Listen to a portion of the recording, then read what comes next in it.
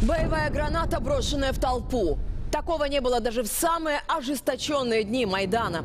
Следствие уверено, гранату бросил боец добровольческого батальона МВД «Сич». То есть, по факту, сотрудник милиции подорвал своих же сослуживцев.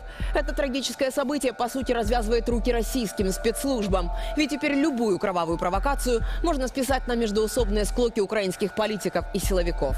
що за цим стояли і цим керували таємні оператори, я дослівно цитую, таємні оператори з Російської Федерації, з країни-агресора. Так что же на самом деле произошло под Верховной Радой? Более 130 раненых и уже 4 погибших. Фактически теракт в центре Киева. Подозреваемого милиция поймала в тот же день. У нас установлено порядка 20 э, людей, которые так или иначе э, участвовали в этих заворушениях. Для нас принципиальная позиция каждого из них привлечь к адекватной мере ответственности. В тот же вечер к народу обратился и сам президент. в сотні разів біль- більніше, коли е, українські бійці, українські герої віддають своє життя, захищаючи мир та спокій громадян від провокацій, забавок тих чи інших політичних діячів. Но почти через неделю после происшествия у общества только прибавилось вопросов. Заявления очень противоречивые. Сначала говорят граната, потом говорят, что э, есть поражение болтами, гайками и всеми там рубленой проволокой и всем остальным. То, что делается на самодельных взрывных устройствах, когда на них наматывается. да. Это говорит нам о чем? Что как минимум могло быть несколько взрывных устройств, которые взрывались. Например, граната и самодельное взрывное устройство. Правильно, это могло быть не граната, а просто самодельное устройство. Версий много, они должны быть отработаны. Много противоречий наводит на мысль. Власть что-то не договаривает. При подозреваемом нашли чеку и гранату РГО. По версии следствия, именно такую лимонку парень бросил в ряды Нацгвардии. Но у экспертов есть сомнения.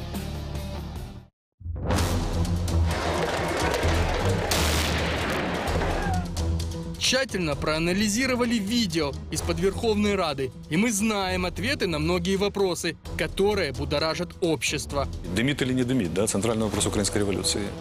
А была ли граната? И если была, то какая именно? Бойцы АТО сразу начали экспериментировать. Вашій увазі граната РГН. Е, За тактико-технічними характеристиками вона дуже схожа на гранату РГО. Воин спускается в окоп и бросает гранату. Дыма не видно. Чтобы привести гранату к бою, надо вытащить чеку. Не надо. Почему? Ну, не надо. А это еще одно видео с такой же гранатой. И тут она дымит. Так где же правда? На самом деле граната типа РГО или РГН может как дымить, так и нет. Сейчас очень много в интернете ходят обсуждений на этой темы. Может ли дымиться такая граната? Она может дымиться, может не дымиться. На самом деле может. Важнее другое. РГО...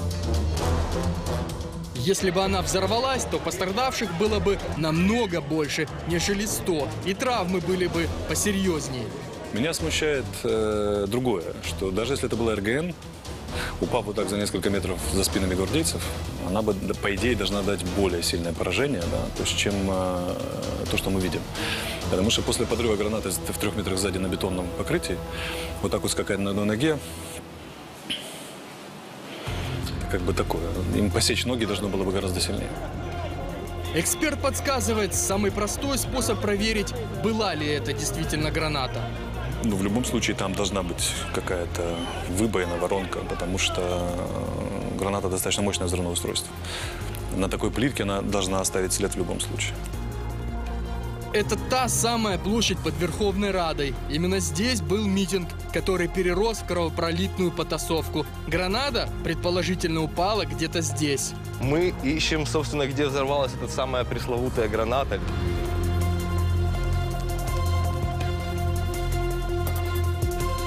Нашли воронку. Значит, скорее всего, граната была.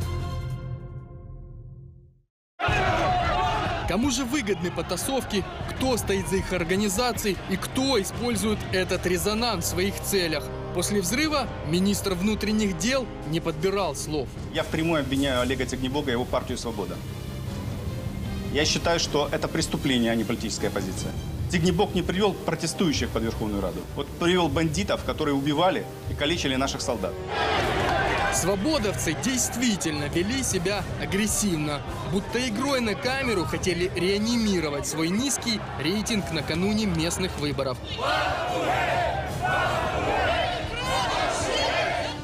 Непонятно, зачем было ввязываться сначала в словесные перепалки, а потом и в потасовки с простыми солдатами-срочниками.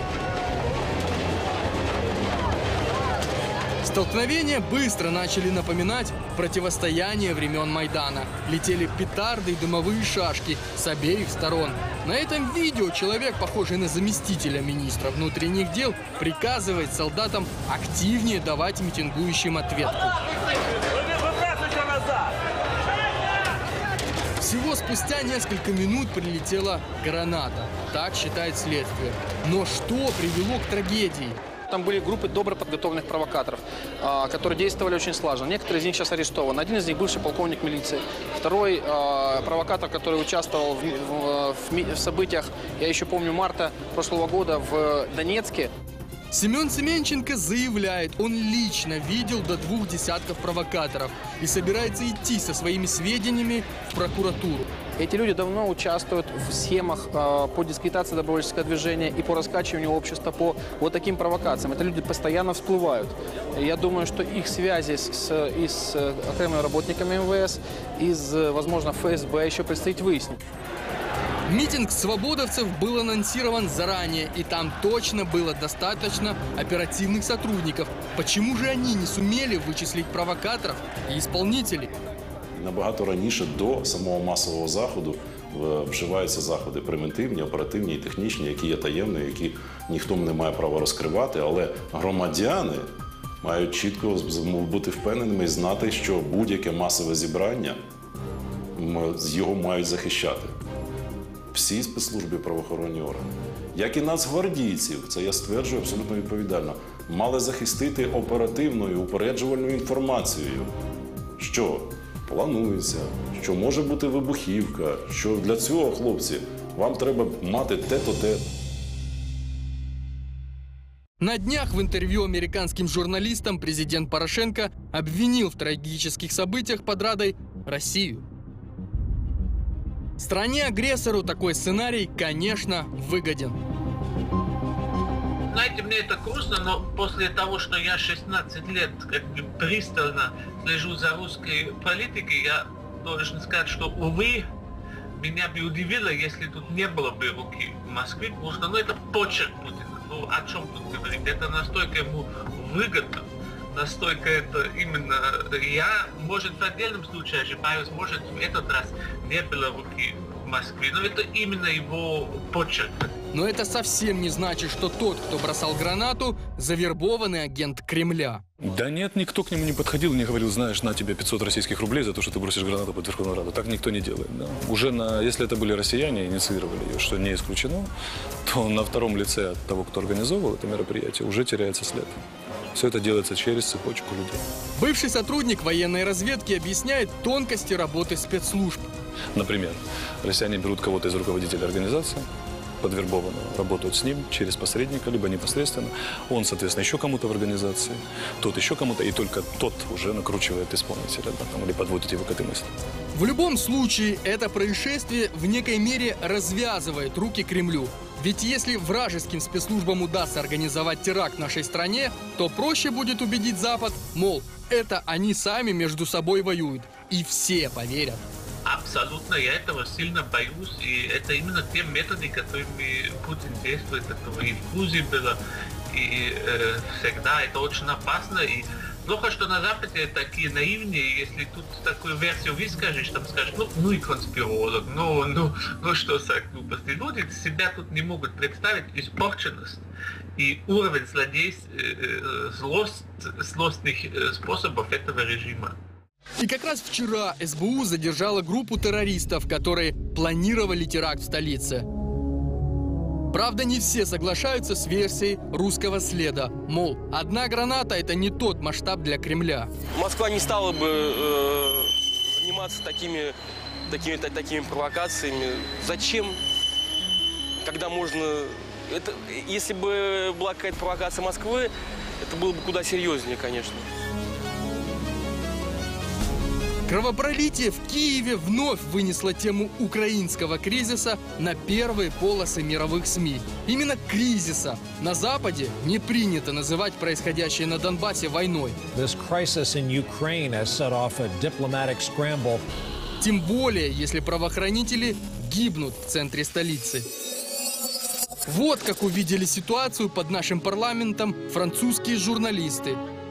Ультраправые представляют собой угрозу, но не могут похвастаться большим влиянием в политике.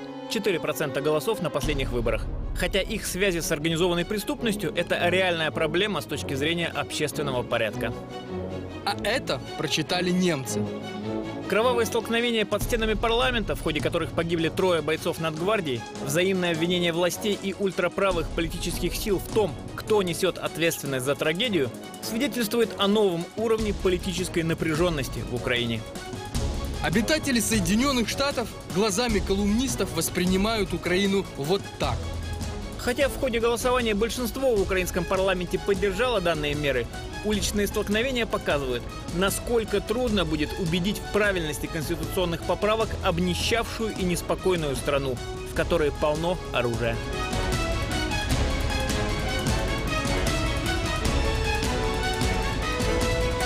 Эта трагедия – красноречивое подтверждение российской пропаганды, что в Украине идет гражданская война.